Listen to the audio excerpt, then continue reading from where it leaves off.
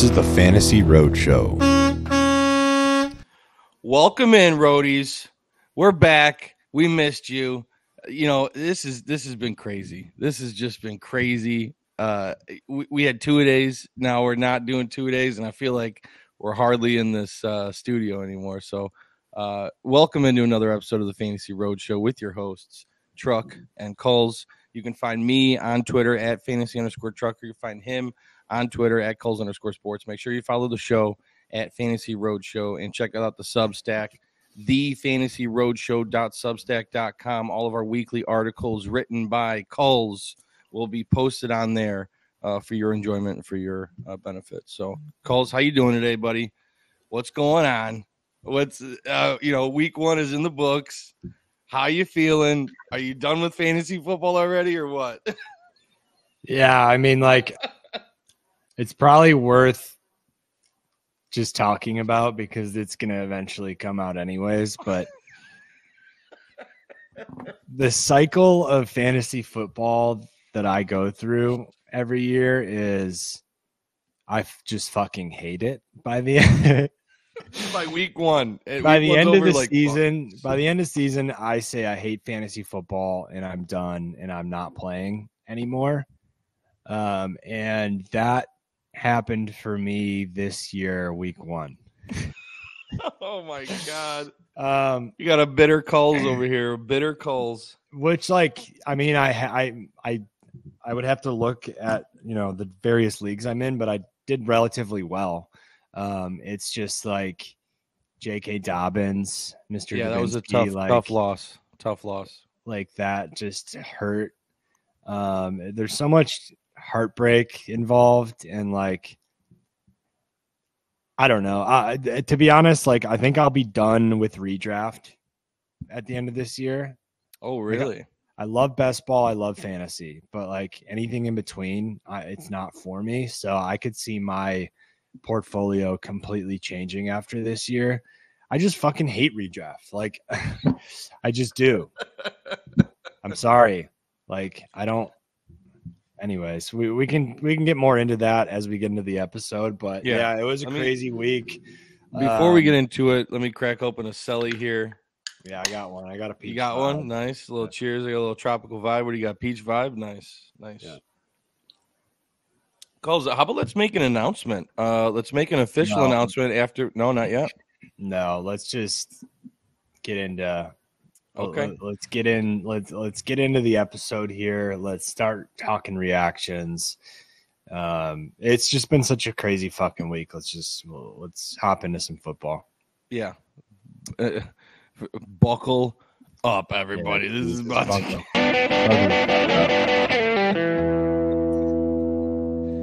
All right. so, where do you want to start? I mean, this is this has been. I Top feel like, huh? Top down You want to just? What do you mean top down? Thursday night. Oh, 12 just go uh, twelve o'clock games and then. yeah, just top All right. down. So Thursday night, um, uh, Lions, Chiefs. Kind of old news by now, but it's like, man, that was such a that was such a great game to start the season. Like when I was watching that, uh, having an exciting football game go down to the wire is just to me the the way a football season should start. You know what I mean? Yeah, And the line the Lions being able to pull that victory off. Um, you know, a lot of people saw it coming without Kelce and without Jones, but uh, I mean, what stood out to you in that game? Like, I mean, as expected that that game was nothing crazy i mean for me uh that's ex- that's what i expected with the chiefs early on uh early in the season without kelce and chris jones i mean i said before the game that's probably your two biggest pieces on each side of the ball not named mahomes yeah, um, so the way that changes the offense, the way that changes the defense. Uh, to be honest, the defense I thought played outstanding without him, but still, like it, it changes things a lot. yeah. For the um, Lions to only score 14 offensive points, you know, that's Yeah. Uh, Yeah, I mean, so here's my like. If I'm a Lions fan, I think I'm probably super happy from they haven't had com- they they haven't beaten on the road on a banner night to start the season the you know a championship team so like for them you got to be super happy with that win. But Oh like yeah. looking at the football side of things, I think they have a lot of shit to work on. I wasn't very impressed with that to be on with them to be honest. Yeah. Like if their jersey was not Detroit Lions and like what the fan base has been through the last, you know, X amount of years, yeah. then I, I would not have been as happy with the win as they probably are, um, just based on football. Um, I, uh, I, you know, I, I just thought that they could have. I I just didn't think they were as clean on offense. Um, obviously, they made big plays and held Patrick Mahomes to, you know, six second half um, points and, and whatever else you want to point to. But offensively, I thought they could have been a lot sharper. So would Um, you let me ask you a question? Would you say it's more likely that the Chiefs lost the game or that the Lions won the game? Definitely Chiefs losing the game. I mean, if Toney catches that ball, they, any of the balls, but the ball at the end, if he just if he caught that last ball, they lose 23-21. Yeah, I agree. Um, so I mean, like they were handed the game a couple times where they should have ran away with it, and a team like, like someone like Patrick Mahomes, like you just can't do that. Um, Yeah. So to me, it was like, yeah, you squeak out a one point win, but you probably should have lost that game seven out of ten times.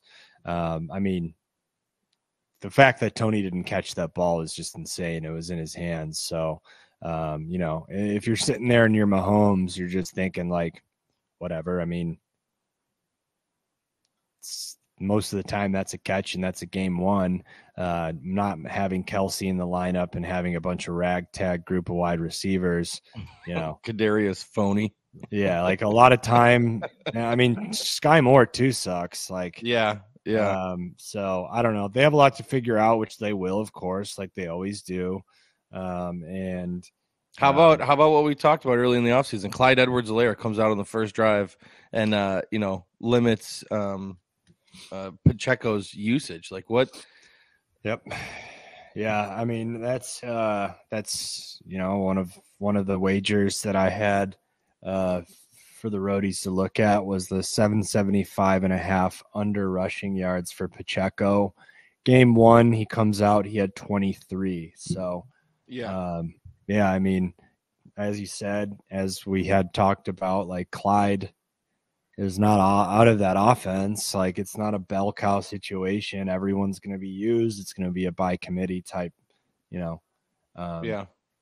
Not only like does Clyde come out and get the first uh first snap at running back, McKinnon had the first reception of the entire game.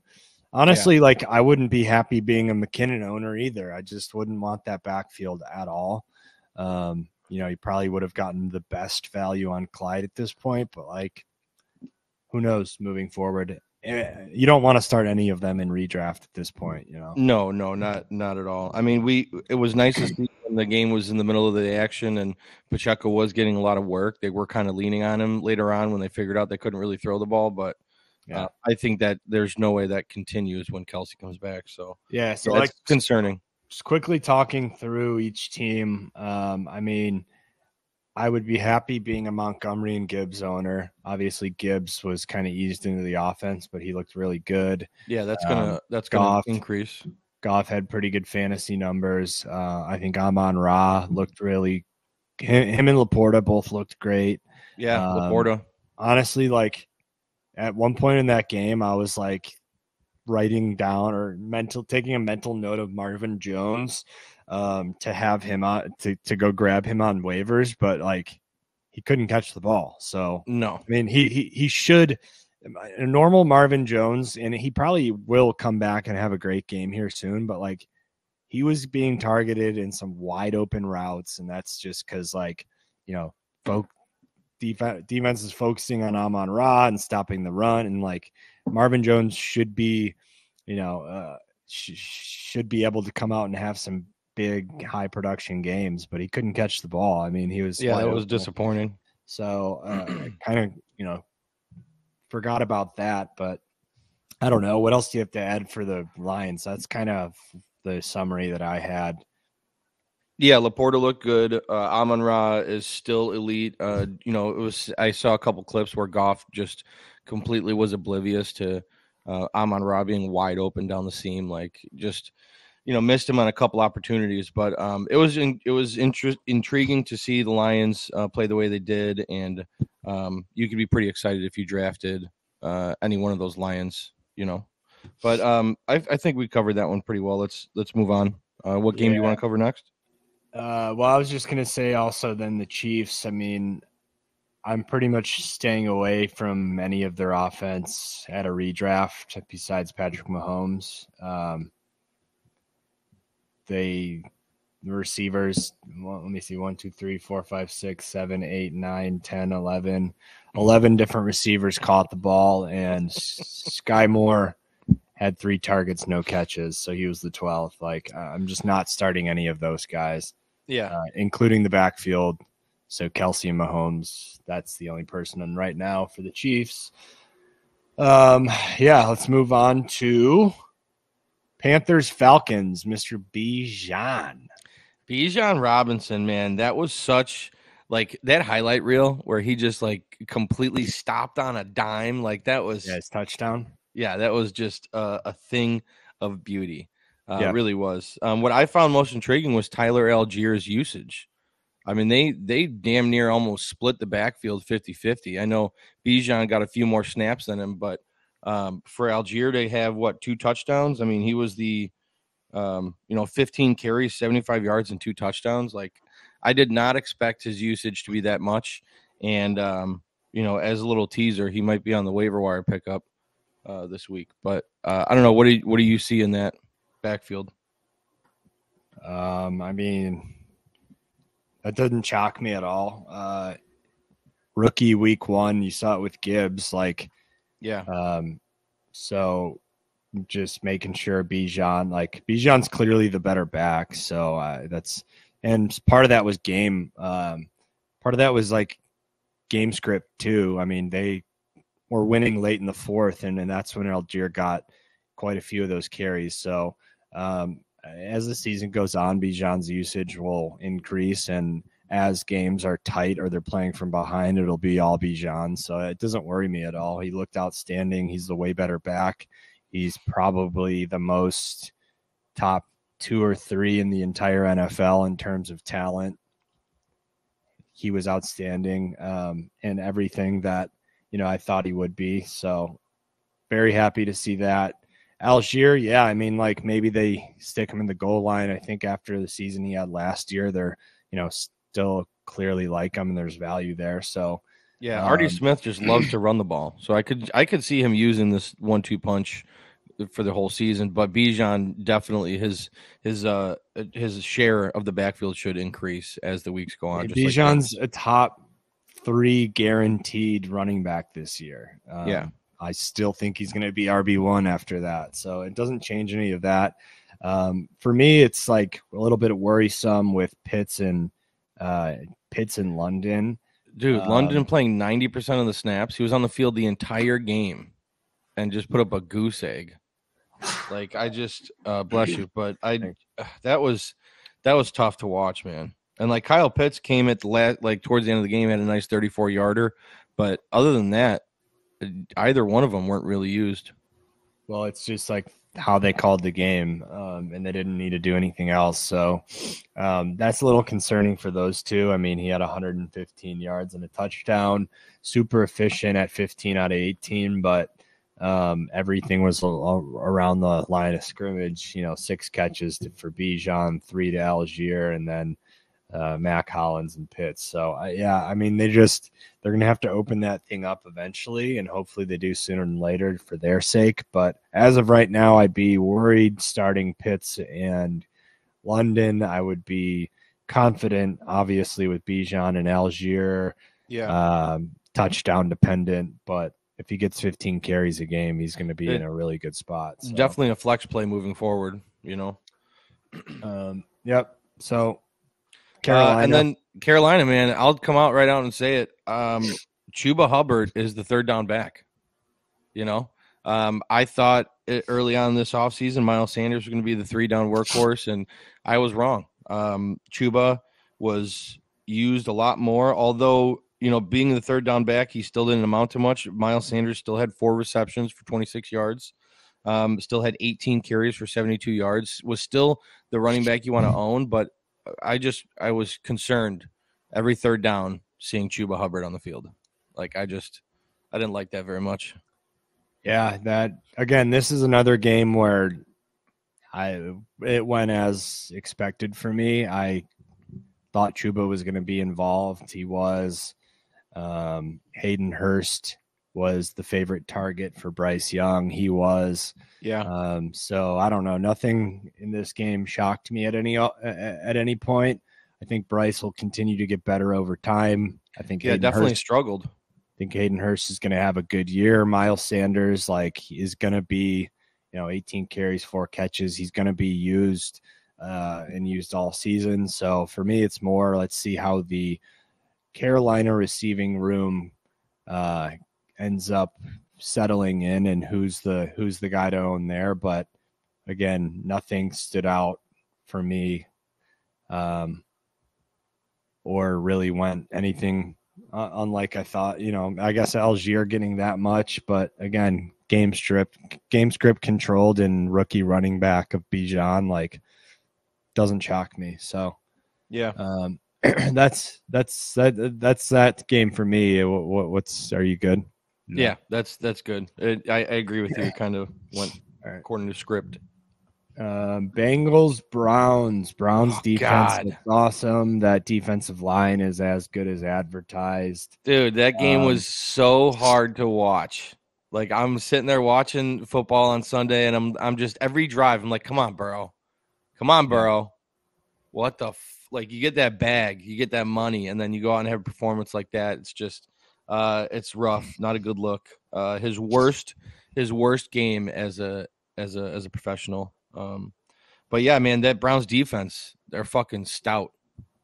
Yeah, that's again. This one didn't surprise me too much. Obviously, Burrow putting up three and having the worst career game, like that's not that's unfortunate. I, you know I did um have Browns like plus two um for our soup me and me and Bricks super contest. So like I think towards the end of the week we both had Browns winning that game just from Burrow being out the Browns. He's never really had a good game in his career. I think he's now like one in four against the Browns. Um, so I mean, like he's he's always struggled against the Browns, and Yeah, at home week one after not really, you know, practicing with the starters all preseason, and um, honestly, like this is the that's the perfect game for the Browns. Like if they don't have to throw the ball much, 154 yards and a touchdown, one interception for Watson. Um, he did have that rushing, you know, he, he had rushing upside and scored on the ground, which was uh, good for Watson owners, which we have some uh, quite a few shares of. But yeah, if they don't have to throw the ball a lot and they can just pound it to Chubb and play great defense, that's that's how they want to play football. So yeah. I'm. I was. I'm I, I was happy with what I saw from Watson. I mean, if you look at the stat line, it doesn't look great. You know, um, you know, almost a little, a little, maybe a little more than a fifty percent uh, completion percentage, 150 yards, one touchdown, one interception. Um, but the fact that he just kind of looked a lot better than he did towards the end of last year, and that was intriguing to see. Um, I was happy with that. Yeah, so I don't even think it necessarily doesn't look great. I think it looks fine. Um, just seeing this, seeing the score twenty four to three, it's like okay, so they controlled the game, ran the ball a lot, and just didn't really have to do much because they were in total control all game long, ran the clock, won the football game. Um, you know, eh, like you're saying with Watson looking good, feeling comfortable. I mean, saw Elijah Moore, Cooper, both involved all the guys you want to see involved were to not the craziest extent because of the game script, but Yeah, you know, in tight games or when they're forced to throw more, I think we would both say we have confidence in Watson being able to deliver there.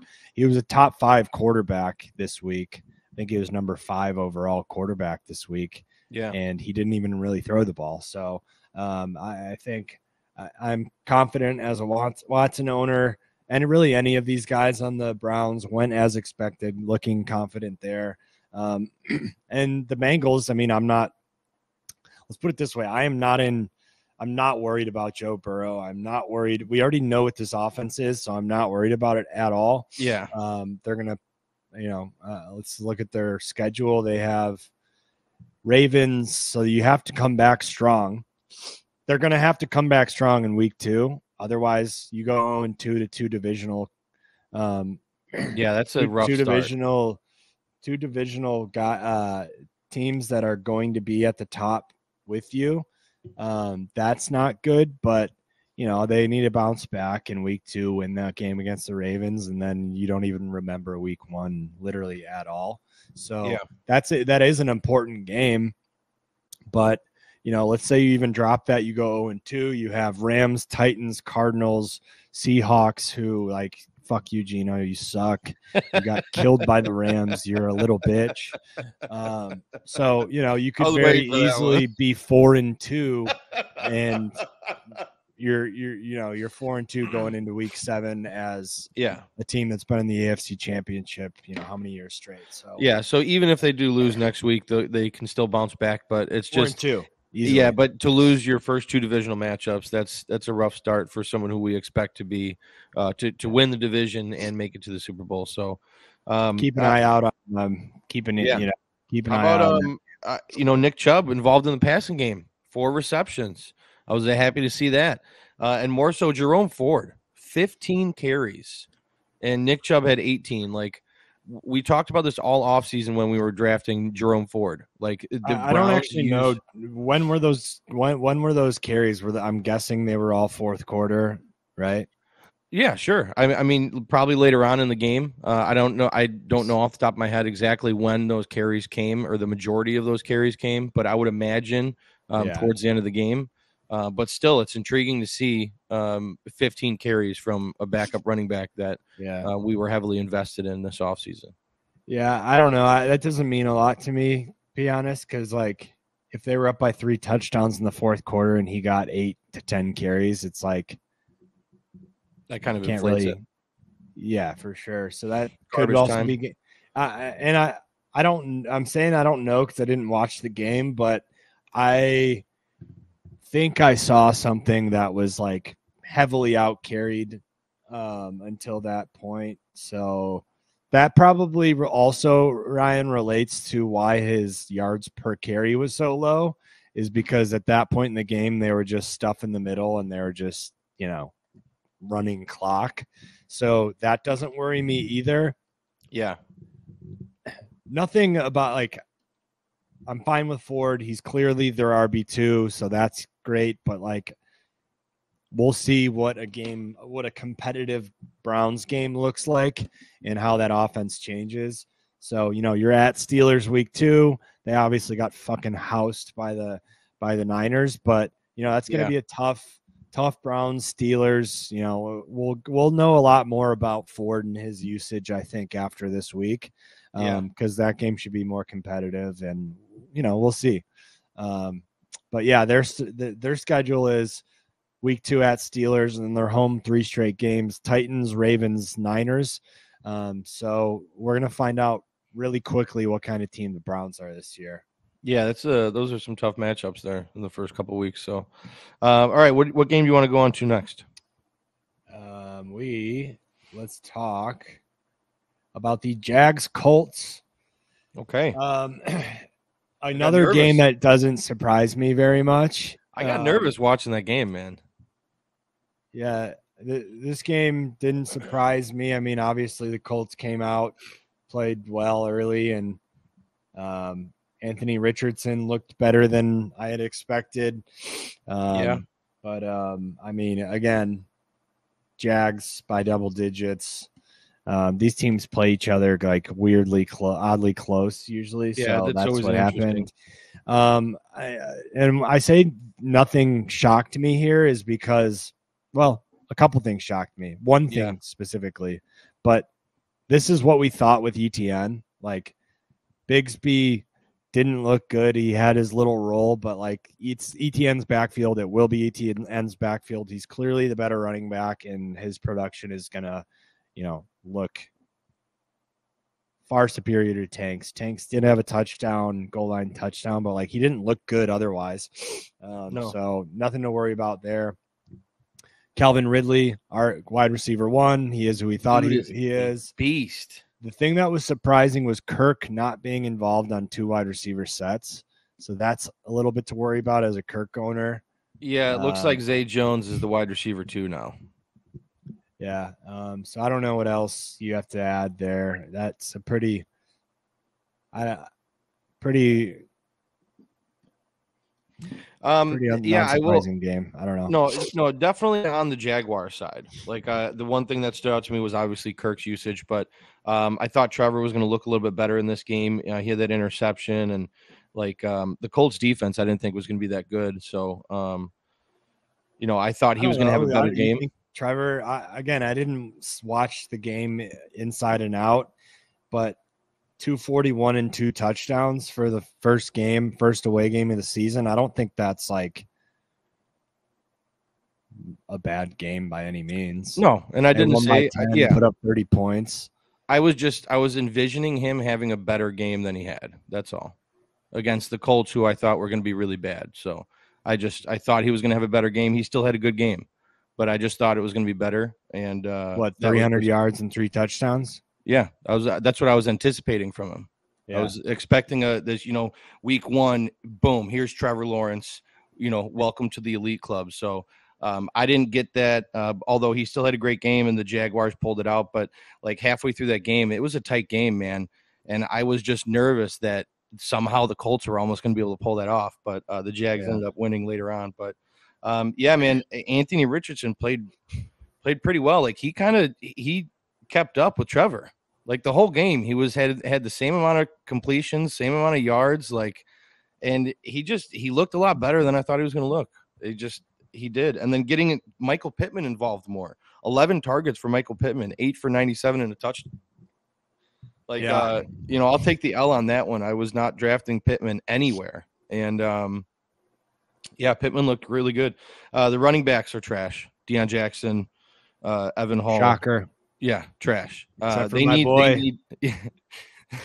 Except for my boy who, who, who was inactive week one, Zack Moss. You're going to see him Yeah. come in. He's going to be the running back. I, I just think they need to they need to sign someone else. They just can't. They, you know, unless they If they're unless going they. to compete. yeah, that's the question. Which, like, but they, I don't think they're good. going to still. But they still looked good this week, and uh, you never know. Maybe uh, maybe they they try to do something to uh, turn it around. But yeah, that's kind of all I got for the uh, Jags Colts. Yeah. So, I mean, you're 303 for Trevor. He wasn't too far off. Week one, weird week one away at Colts, team that usually plays them close. I'm, that doesn't discourage me. Now they have five straight home games. Really? Well, two of those are away, so they're neutral, but they're the Oh. home team. yeah. They're uh, they're overseas, but they're gonna have Chiefs Texans these next two weeks. So obviously, like that 303 Trevor that we expect to see a lot this year. Um, week two and three is you know, we we can start to see that. So yeah, that's a winnable game um, against the Chiefs after what we saw week one. Yeah, I mean, like I just think I think these are the two weeks where you can hold him accountable to his 303 if that's it's that if that's the kind of quarterback you think he's going to be this year because Yeah. a lot more comfortable at home, knock off that week one rust. Um, two teams that you should be able to put up points on, so we'll keep an eye on that moving into the next week. But I, I'm good on this game if you are. I am Gucci. What do you got next? Um, next is the Bucks and the Vikings. Hell yeah, Uh, Baker in the Bucks, baby. yeah. Baker and the Bucks. to be honest, like this is another game. Uh, there's a lot of craziness in this week, um, but we haven't gotten to it quite yet. Like this was another game that I thought was going to be higher scoring. I, I really thought it was going to be very high scoring, but uh, turns out the Bucks defense is pretty good. Yeah, Um, so I I don't know what else to say about the Vikings other than like this is exactly what I thought was going to happen to the Vikings. you lose to a shitty Bucks team week 1 and then here comes the quicksand. You got to go to Philly on a short week. Oh, uh, and then you're playing the Chargers week three. Like, Yep. here comes 0 and 3. Um, so I, I don't know, like not good for the Vikings. That's all I have to say there. No, um, I was excited to see uh, uh, Jordan Addison played really well, heavily involved, um, and Justin Jefferson still had what 100 yards in the first half. Like he's just Justin Jefferson is that guy, and you're you should be happy you drafted him at um, wherever you got him. So uh, beast. Yeah, but uh, the only Alex, thing I would be worried about is that he's going to be on a team that's going to be two and eight, two two and six after after the week eight, and they're going to just be they're going to be losing their shit. Like they're expected to win this division, and you're going to be very much in last place after Yeah, you know, they're- the first yeah. eight weeks. Like that expected could to be in con- unravel. yeah, expected to be in contention, but I mean they're going to be losing a lot of these games. So I think Kirk, you know, from what we saw, you know, but he let's was- talk about football though. Like it, it, Kirk Cousins doesn't have a guaranteed contract after this year. If they're two and Yeah. eight, if they're two and six after eight weeks, you're going to start hearing the is Kirk Cousins going to be back? Justin Jefferson didn't look happy on the sidelines, so that's like something to that that is something to worry about. Like that that matters. Like that, you know what I mean? Those Yeah, I would be. Yeah, I'd be nervous matter. if I owned him in Dynasty, one hundred percent. Well, no, I think this year in redraft, I would be worried. Like Oh, really? in Dynasty, I'm not worried at all. Who gives a shit? He's still elite. I'm worried, yeah, because like weeks eight through 13 towards the end of the year and then into the playoffs, and you have a, a very unsteady locker room, a relationship between Kirk and, and Jefferson that could change as they're not winning games and they need to like they're going to move on from Kirk Cousins after this year, and you're going to see some relationship strain late in this season. And how does that affect on on field performance? I would not be comfortable owning Jeff, Justin Jefferson right now. Like- See, I'm I'm on the other side of it. I I totally comfortable owning Justin Jefferson right now. The Vikings are going to be losing these games. Kirk Cousins can su- can support uh, an elite wide receiver, as we saw it. He had 100 yards in the first in the first half, like, and they lost this game. This game script could be very similar to the rest of the season. Kirk Cousins, to me, isn't going But anywhere when they're season. two and six after eight weeks, that it's not the same as this game, week one. Is my point. No, I, I understand, and they the relationship may struggle uh, off the field, but on the field, Kirk Cousins can still sling it, as we saw. Um, the team may not be winning games, but Kirk Cousins is going to be throwing to Justin Jefferson twelve targets this game. You're going to see that almost every game. Like I just think Justin Jefferson is still safe. I'm worried about him next year. Who's going to be the quarterback throwing him the ball? Is he going to be a competent quarterback Yeah. in Dynasty? I'd be a little nervous, but I'm I'm okay with it this year. I'm worried about their relationship this season. Um, Alexander Mattison is who he thought he is. He's sucks. um, I've been preaching that for a long time. Yeah, he did, did Um, score a touchdown, but had a had a rough game. Uh, yeah, he sucks. Uh, so I expect to see Ty Chandler over the course of the season eat into that role a little bit. Let's see how long they, you know, uh, you would think that they would stick with Mattison for quite a while, but Yeah, if he continues to have 11 carries and 30 yards on the ground and uh, they're losing games and their their season is completely out of reach the, it's going to be interesting to see the Vikings be as bad as they're going to be this year with as high as the expectations as they're supposed to have. Your box scores are not going to look like this I promise you. So uh, that'll be something to keep an eye on uh, you know, Thursday night is always tough. Um, I think it's going to be ugly Thursday night. Games are always ugly on Thursday night, so uh, we'll see what happens. That'll be a loss. Oh and two. I, I I agree with you there. All right, what, do you want to go on? Let's do the Titans Saints next. I, I don't have much to say about this game. So uh, Rashid Shaheed looks really good. Olave Yeah. looks really good. 300 yards for Derek Carr.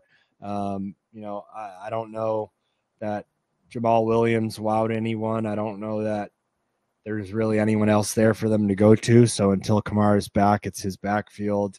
Yeah. Tyjae Spears uh, out snapping uh, Henry on, or I think he was on every single third down, and and the snaps were pretty close, so that was something to keep an eye on. But Yeah. Tannehill looks like he's dog shit.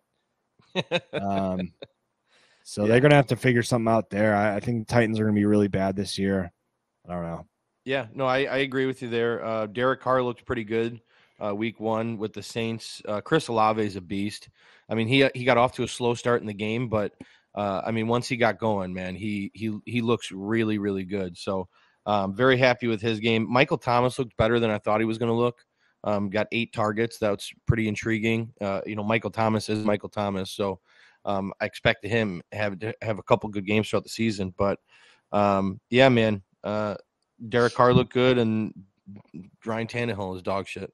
it's just What a fucking cupcake season for the Jags, dude. You're literally to have like the three worst teams in the AFC in your division. So you, Yeah. you, you're going to be 6 and 0 from that like what an easy season for the Jags. Uh Yeah. hopefully, you know, hopefully they stay healthy. They're one of the top 2 seeds in the AFC and they can they can compete with that stacked AFC North and obviously um Chiefs.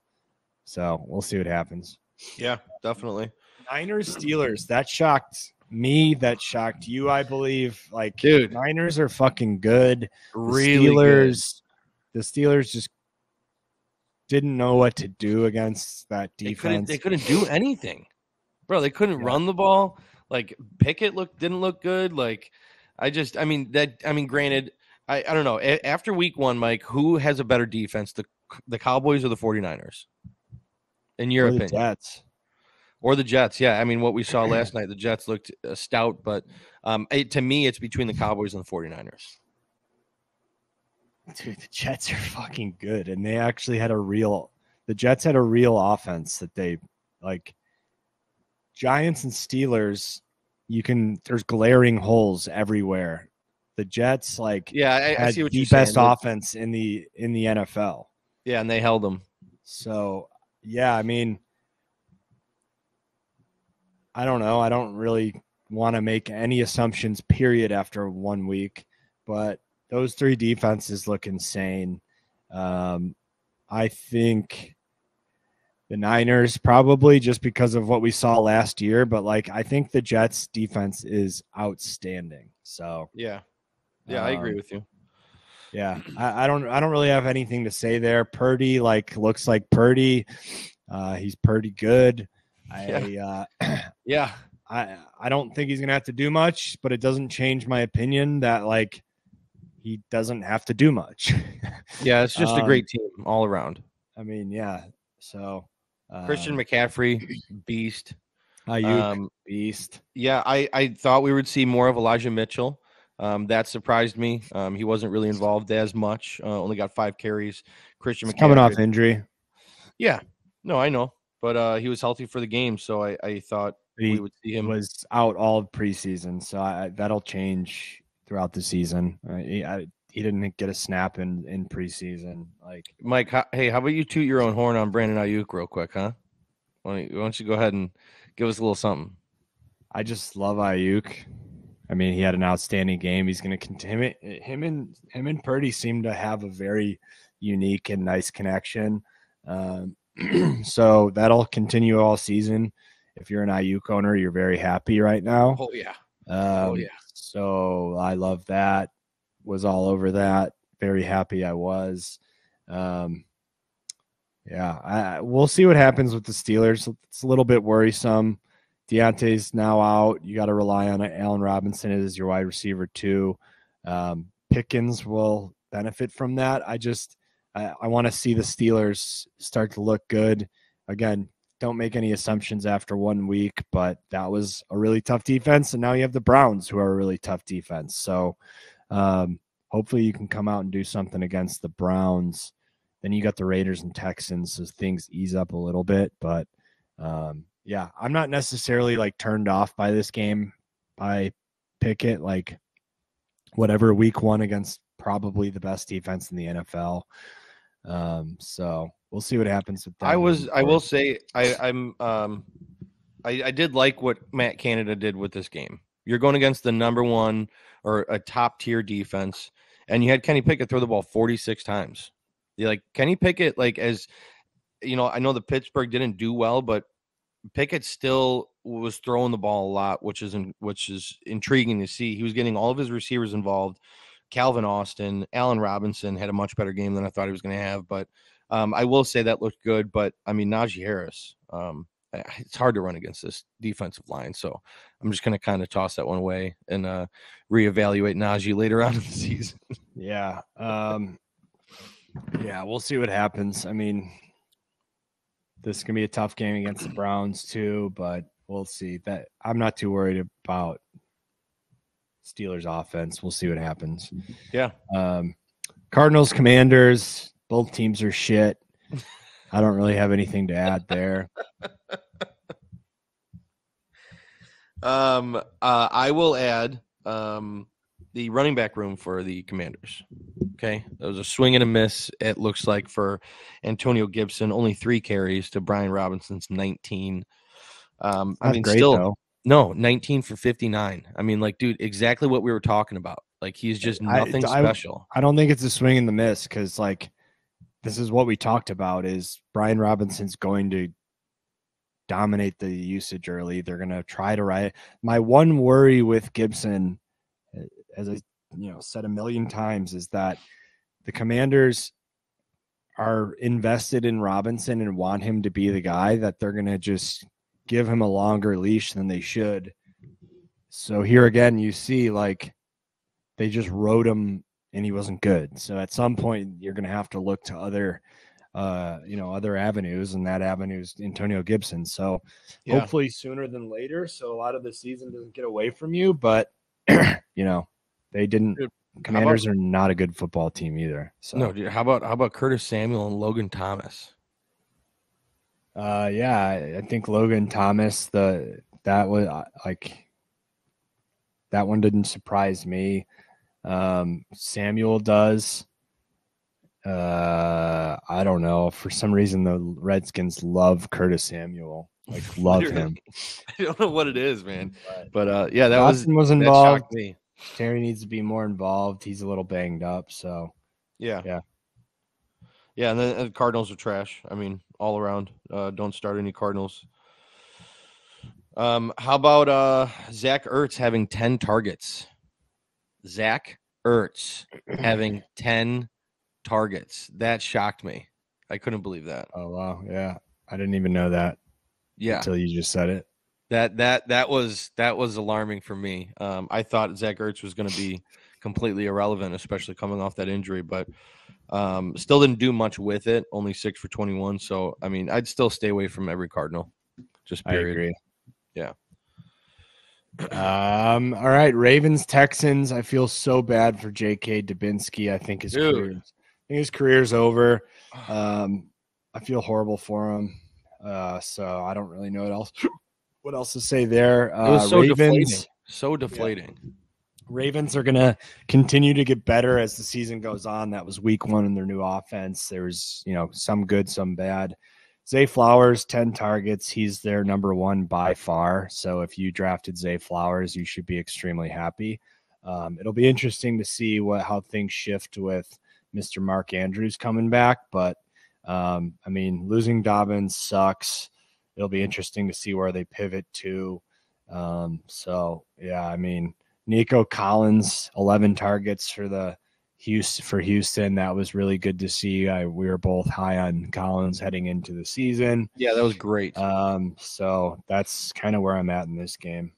Sucks for Dameon- yeah, Dameon Pierce uh, didn't have as much of a stranglehold on that backfield as I thought. Um, uh, Devin Singletary came in, which I mean, early on, this is what we were saying. They got Singletary for a reason, and they're going to use him. So, um, but uh, you know, with a different game script, expect that to look a little different. Um, but yeah, I mean, that's all I got for that one. And how about Zay Flowers, man? Zay freaking Flowers. Um, that was awesome. That was great to see. I mean, it seemed like Lamar had like fucking blinders on and was like only targeting Zay Flowers. It's kind of how he is. Yeah, I mean, he did that with Mark Andrews for years. Yeah. Yeah. So, I mean, I expect that to look different when Mark comes back. I don't think Zay, you know, um, gets that large of a target share with Mark Andrews, but uh, it was just great to see. Zay, Zay looked great. Um, you know, his, his some of his highlights were just um, just awesome. Um, as far as the backfield goes, Justice Hill, Gus Edwards, like it's going to be a timeshare right now, and I'm sure they're going to go and get Leonard Fournette or Kareem Hunt. Yeah. You know, Yeah. Um, yeah, that'll be interesting to see. I don't really know what to expect. It just sucks. I feel so bad for Dobbins. Yeah. And Lamar didn't really have that good of a game, like you know, um, fantasy wise, statistics wise. Yep. Um, but the team was just winning, so you know, All right. you don't have to do them too much. I'm gonna I'm gonna let you take over for this next game. Um, we got Packers 38, Bears 20.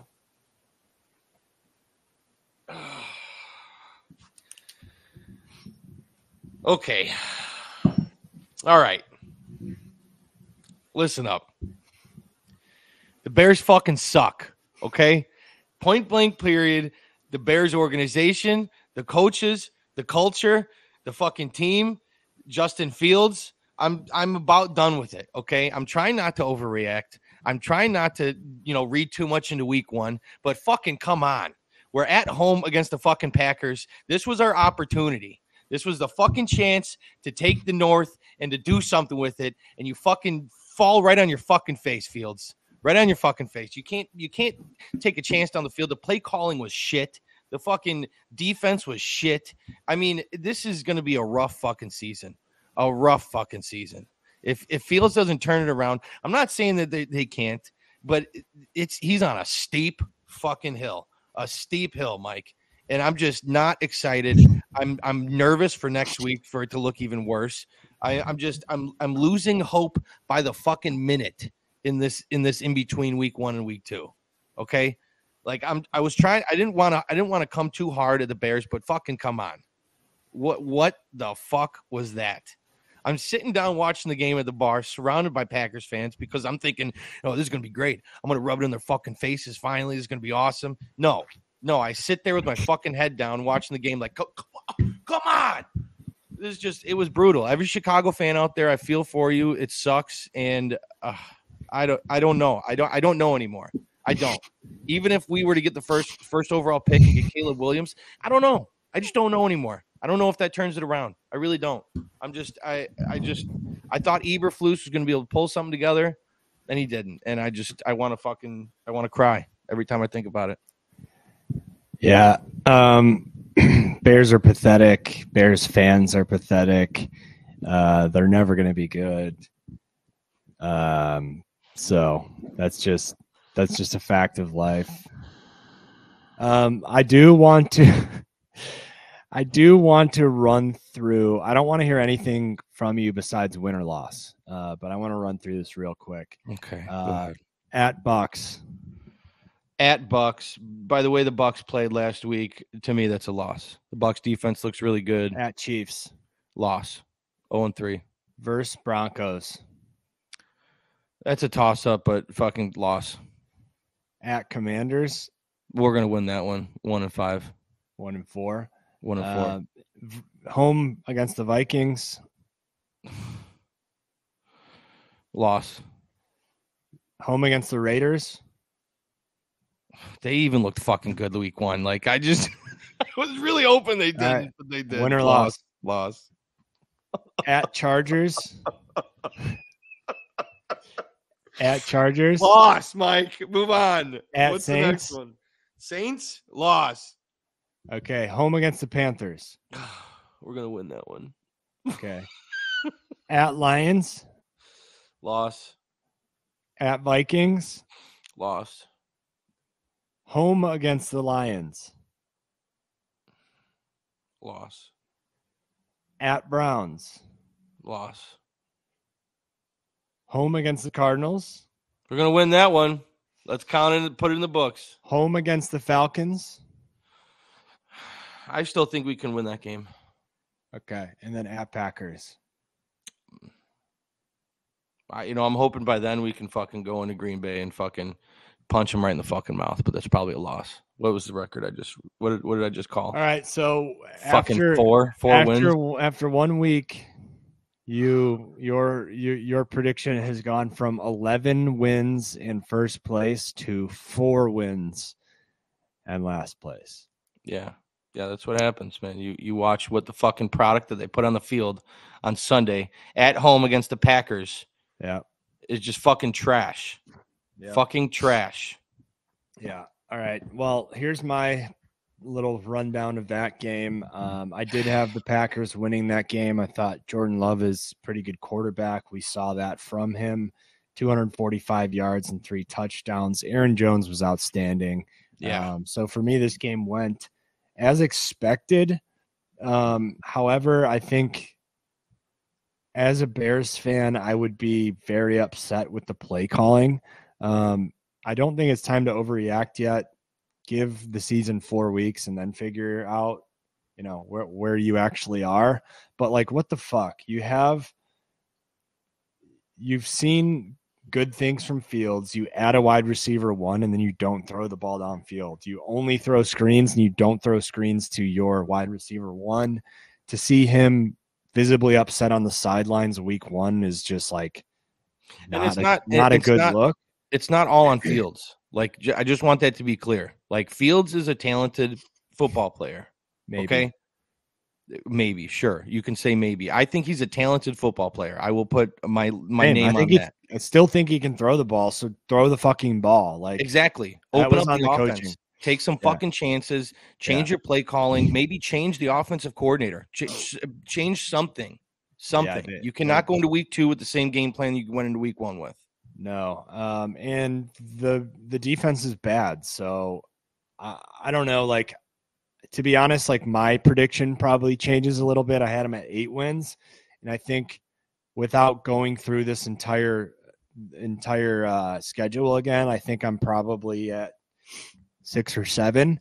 Um, but certainly more than four, I would think. If you're going to be a four-one team this year, you're in the Bears. You might as well be a one or two win team and go get a Marvin Harrison or someone. Um, but anyways, And I um, just just to be clear, I'm speaking as an overreacting Chicago fan. Okay. yeah, but like realistically they probably win six or seven but uh, based on what i saw and based on the names the teams that you just said and from what i saw from them week one it, Well- i'm not i'm not uh, i don't feel good about those games i just yeah, well, if you lose it at Tampa this week, then you're going to start at least 0 and 3 and potentially 0 and 4. The Broncos are good. Um, or they're not bad. Um, and then, you know, then it's at Commanders. The team's bad, but you're away and you're 0 and 4. 0 and 4. Like, and, and there's you have to there's figure out things quickly in the NFL. yeah but there's a world where we beat the broncos there's a world where we beat the bucks like there's there's still time for the bears to turn it around somewhat and start looking decent but from what i saw i just i'm i i have i have no faith in the team right now little to no faith from what i saw on on sunday Yeah, they need to they need to figure it out. I I, I do before we move on. I do want to say, um, we there, there was a missed opportunity on Sunday night. oh god Ryan Ryan and I were in front of our cameras. Uh, I wasn't feeling. I wasn't feeling too good. We were in the stooge and we had Ryan in his Bears apparel about an hour after the game with a bottle of Jameson in hand and a beer in the other hand and was drowning his sorrows.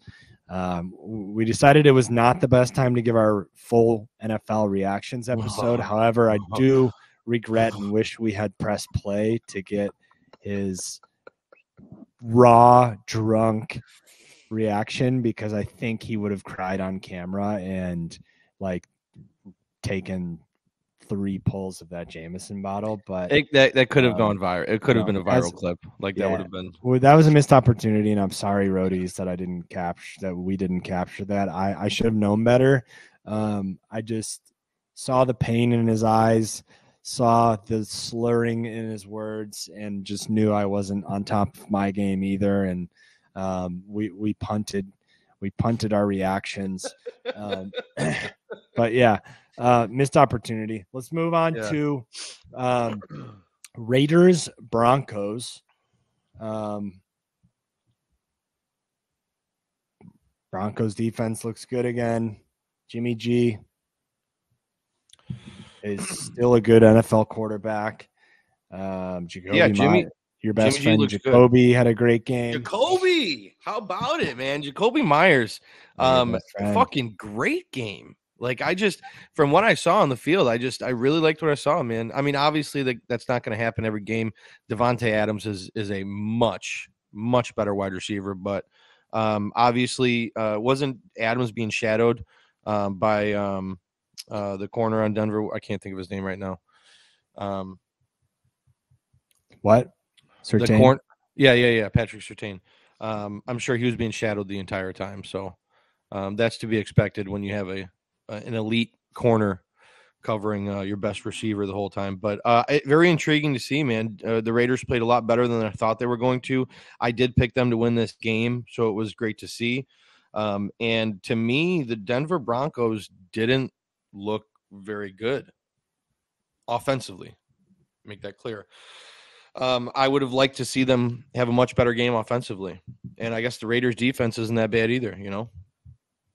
Yeah, I mean they're also like one of the most injured teams in the NFL right now with Javonte working his way back, Jeudy being out, Dulcich went down that game. Like so those are three of the biggest weapons that they have on offense.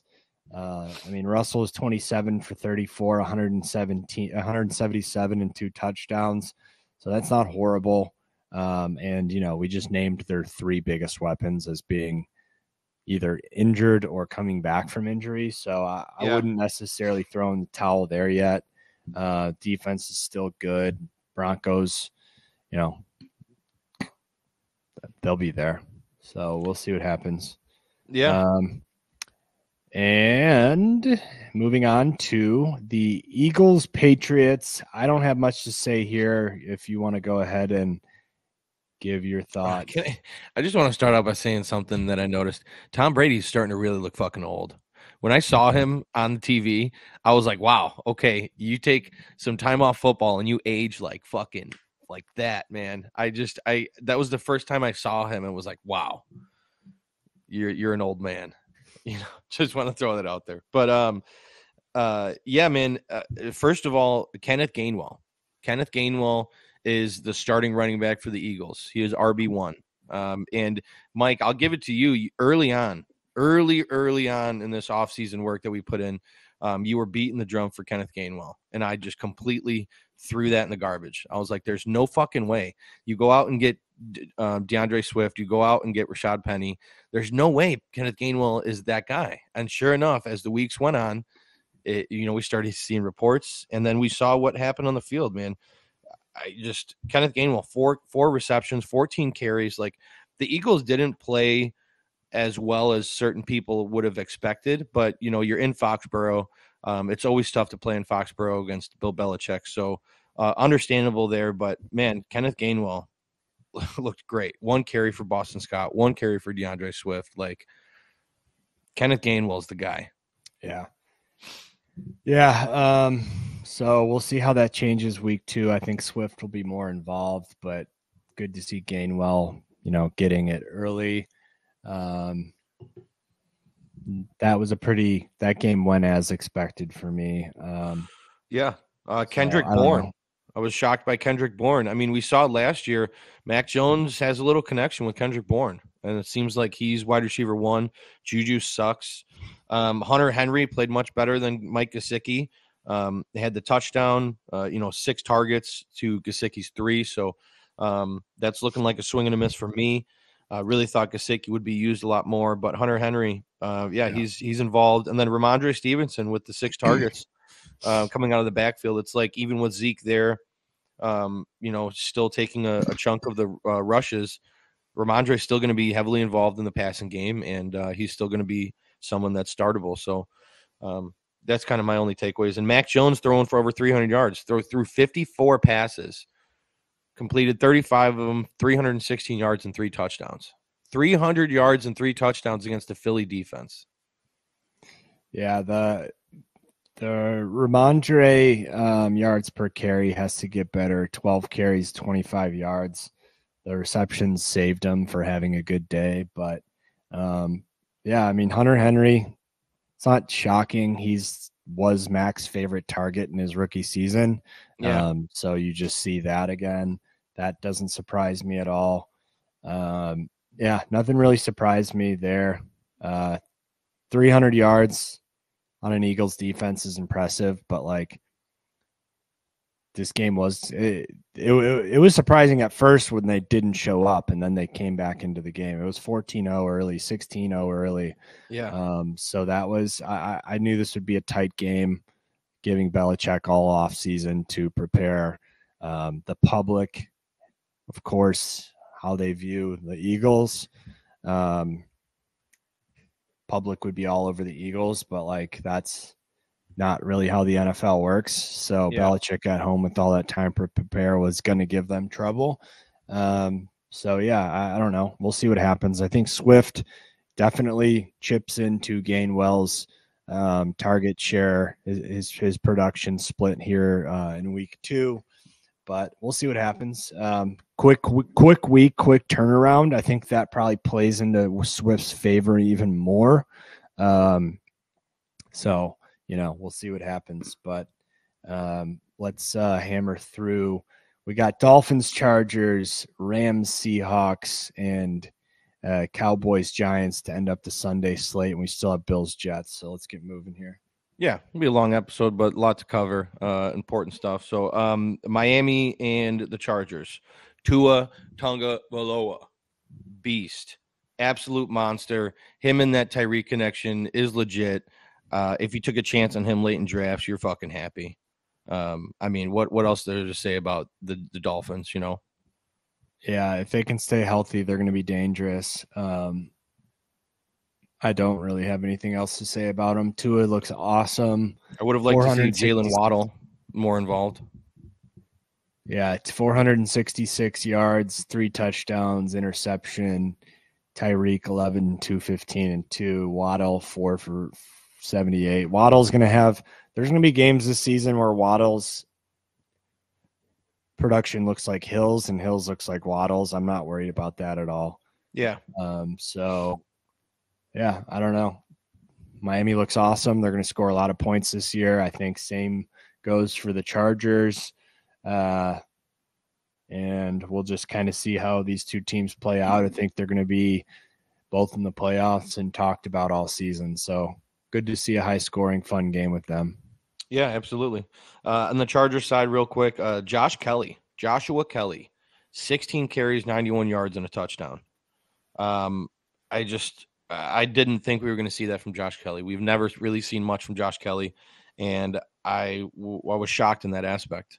Um, Austin Ekeler looked great, obviously, four receptions, 16 carries, but, um, you know, Josh Kelley's going to be involved, it looks like. And, um, you know, he's someone to keep an eye on for sure. Yeah, uh, wait, he'll be on the waiver wire, and it looks like you should get him, uh, especially with the ankle injury to Ekeler. It seems like he is going to be out for this week, uh, or at least not practice. I imagine he's they're going to hold him out, but um, yeah, Josh Kelley. Rams Seahawks. The Rams put a fucking beating down on the Seattle Seahawks. Yes. Um, Yes, Stafford throws for 334 yards. Looks like himself. Tutu Atwell, Puka Nacua. They were on the receiving end of all of that. Uh, I think I would be um, very happy there. Uh, Cam Akers, man. Um, I just don't understand why the Rams hate Cam Akers. Why Legit. Sean Sean McVay hates Cam Akers. Um, he just he just doesn't. I don't know. He just does not like him for some reason. But um, that seemed like one of our bigger swing and misses was Cam. I don't know that he's going to get opportunity to be the bell cow there. I think Kyren Williams looks like his role is pretty pretty big in that offense. So I would probably be getting Kyren Williams and prioritizing him over Josh Kelley, um, probably over any running back. Um, I don't know. That was Yeah, I mean. Yeah, I mean Cam Akers, I you know he's still going to get, um, uh, uh, uh, you know he's still going to be involved there, but I, I could definitely see Kyren kind of taking over uh, as the lead back. He did look a lot better. Yeah, I think he is the lead back right now. So um, Puka Nacua in the Cooper Kupp role got 10 catches for 119 yards. Um, so Puka is looking like he's the real deal. Yeah, at least for the Uh, next couple weeks, right?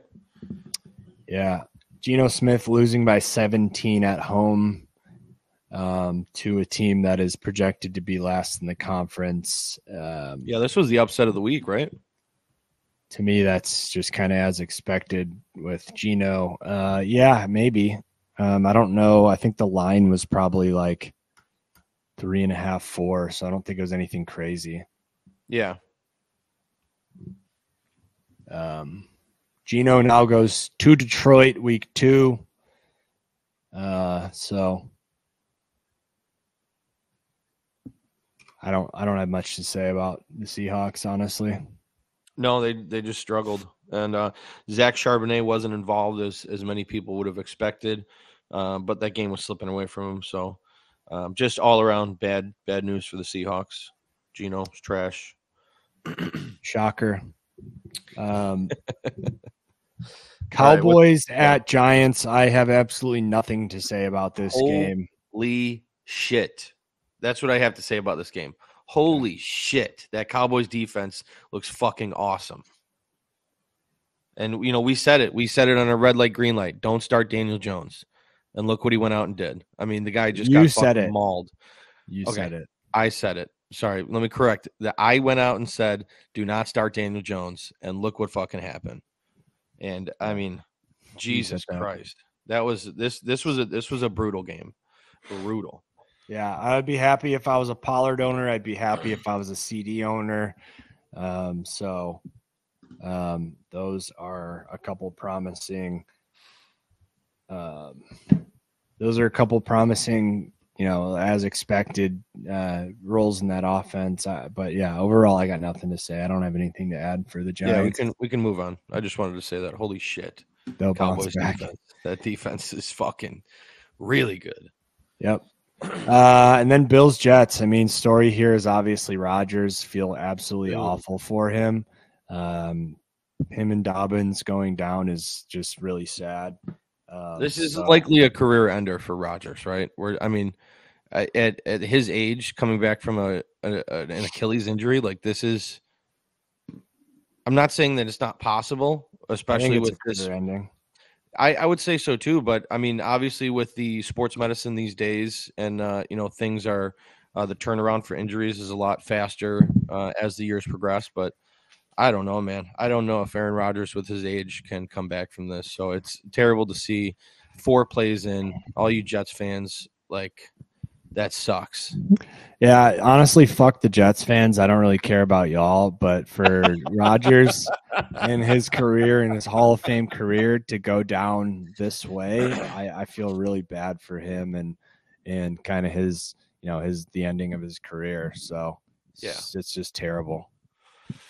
Yeah, absolutely. Um, but the Jets defense, man, you, we said it earlier. Jets defense looks really fucking good. Uh, turned the ball over what four times uh, on these Bills offense. Um, James Cooks looked really good. Uh, he was the running back that was basically the only running back involved there.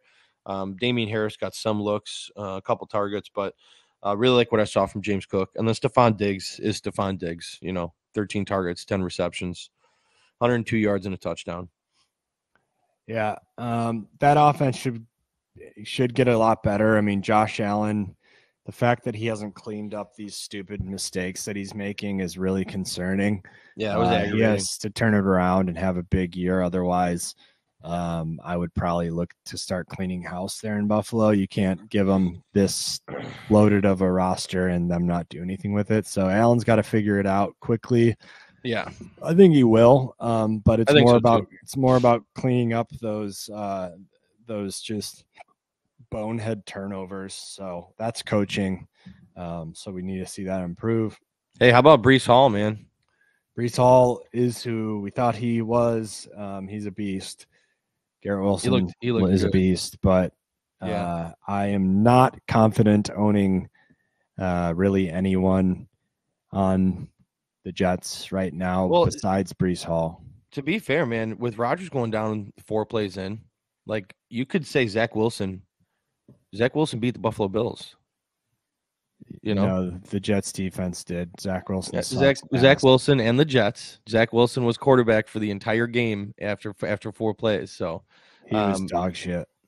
yeah, he was, and the Jets still ended up winning. So His QB rating was twenty two point six. um, eighty one point four. His QBR was twenty two point six. Oh, okay. I see what you're saying. Yeah.